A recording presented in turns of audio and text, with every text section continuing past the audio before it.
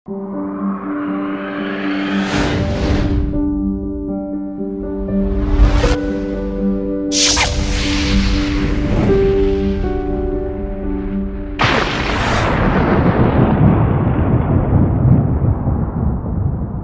कार्यक्रम देख रहे सभी दर्शकों का, सभी यातकों का हार्दिक अभिनंदन है। सुस्वागत है भक्ति रस लाइव में। बंधु, आज हम चर्चा करेंगे कि अहोई अष्टमी का त्यौहार क्यों मनाया जाता है? किस लिए मनाया जाता है? अहोई अष्टमी के त्यौहार से हमें क्या लाभ प्राप्त होता है? तो बंधुओं, सर्वप्रथम मैं आपको बताना चाहता हूँ कि कार्तिक कृष्ण पक्ष की अष्टमी तिथि, जो इस बार 31 अक्टूबर 2018 को आ रही है। इसमें बार कौन सा आ रहा है? बुधवार आ रहा है। बंधुओं जे तिथि हम अपने बच्चों की लंबी आयु के लिए मनाते हैं। इसका व्रत रखने से बच्चों की आयु में वृद्धि होती है साथ साथ उनके संस्कारों में वृद्धि होती है। अगर संतान की बात करें तो संतान हमारे पास सबसे अनमोल धन होता है। ये धन जिसके पास है वो व्यक्ति धनवान है। लेकिन धन वो कार्य का होता है, वो काम का होता है, जो धन हमारे अच्छे स्थानों पर लगे। जो धन बेकार ना हो। इसी प्रकार गणना करें तो बच्चे भी अगर संस्कारी होंगे, बच्चे भी अगर बुद्धिमान होंगे तो वो हमारे यश को बढ़ाएँगे। तो उसके लिए हम प्रार्थना करते हैं, किससे? अष्टमी से। किस अष्टमी से? माँ अहोई अष्टमी से। माँ अहोई का स्वरूप, जिसकी आप पूजा करते हो, और माँ अहोई को प्रिय लगने वाली वस्तुएँ भी माँ को चढ़ाते हो। तो बंधुओं इन त्योहारों के पीछे छुपे हुए भाव को छुपे हुए ज्ञान को जब तक हम नहीं समझते, तब तक उस त्यौहार के मनाने की जो पीछे जो राज है, उस त्यौहार से जो हमें लाभ प्राप्त हो सकता है, उस लाभ से हम वंचित रह जाते हैं। क्योंकि ये जो त्यौहार जितने भी हैं, ये वर्ष में केवल एक बार ही आते हैं। कार्तिक मास के विषय में पहले भी मैंने करवा चौथ के एपिसोड में आपको बताया था कि इस मास में सूर्य भगवान नीच के होते हैं। और नीच के होने के बाद वो क्या करते हैं कि वो सभी के ऊपर थोड़ा सा सख्त हो जाते हैं। सभी के सभी जो ग्रह हैं, वो सख्त होते हैं। इसलिए इस मास में ज़्यादातर हमें पूजा पाठ करनी चाहिए। अपने बच्चों की आयु को बढ़ाने के लिए हम अहुई अष्टमी का व्रत रखते हैं। तो इस व्रत से पूर्व एक दिन पहले हम इस बात का संकल्प लें कि कल हमने अहोई अष्टमी का व्रत रखना है और प्रातः काल उठ करके, नहा धो करके, अपने बच्चों का स्नान करवा करके, अपने बच्चों को नए वस्त्र पहना करके मंदिर में बैठें और मंदिर में बैठने के बाद हम अपने बच्चों को इस बात का ज्ञान दें कि आज हम आपके लिए व्रत रख रहे हैं ताकि बच्चों में एक भाव उत्पन्न हो जाए, उनके अंदर एक भाव बन जाए कि हाँ हमारे माता पिता हमसे बहुत अधिक प्रेम करते हैं। क्योंकि जान बिन ना हो प्रतीति, बिन प्रतीति हो नहीं प्रीति। जब तक बच्चों को इस बात का ज्ञान नहीं होगा, तब तक हमारा जो व्रत है, वो सफल नहीं हो पाएगा। क्योंकि हमें तो पता है, लेकिन बच्चों से पूछो अहोई अष्टमी तो उनको कुछ पता नहीं है। इसलिए बच्चों को संस्कार दें, बच्चों को बताएँ कि बेटा आज हम आपके लिए भूखे रहेंगे। भूखे रहने का अर्थात कि माँ अष्टमी के चरणों में प्रार्थना करेंगे कि आप हमारे बच्चों की लंबी आयु करें।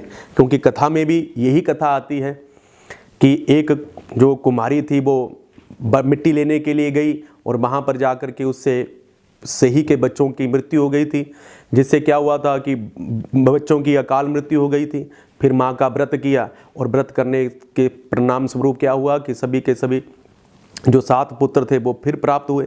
इसी प्रकार इन सभी कथाओं से हमने कुछ ज्ञान लेना है। कथा को सुनना ही नहीं है कि कथा सुन ली, लेकिन उससे ज्ञान क्या प्राप्त होता है?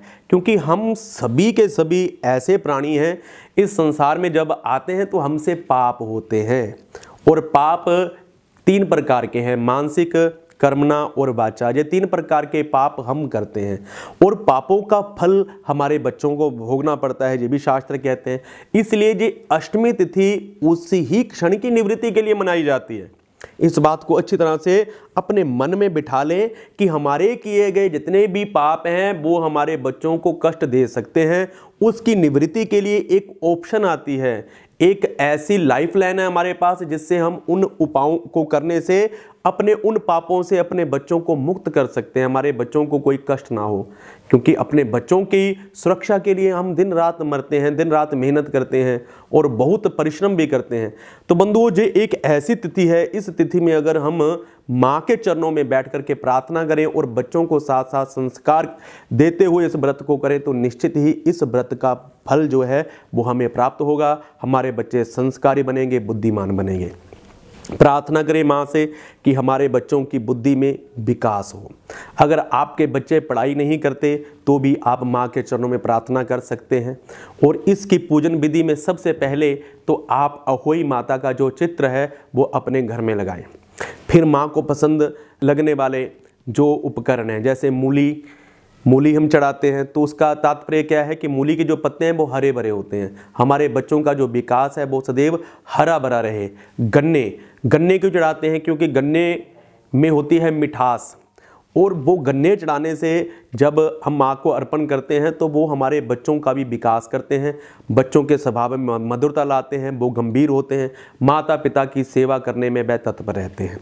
और उस पूजा विधि में आप अपने बच्चों को सायकाल अपने घर के मंदिर में बिठाइए, मंदिर में बिठाने के बाद खुद उस कथा को पढ़िए, कीजिए, बच्चों को सुनाइए, और सुनाने के बाद अहोई माता की आरती कीजिए, फिर अपनी बच्चों के बच्चों की झोली में आप प्रसाद डालें और अपने बच्चों को अपनी समर्था के अनुकूल वस्त्र इत्यादि भी दान कर दे सकते हैं।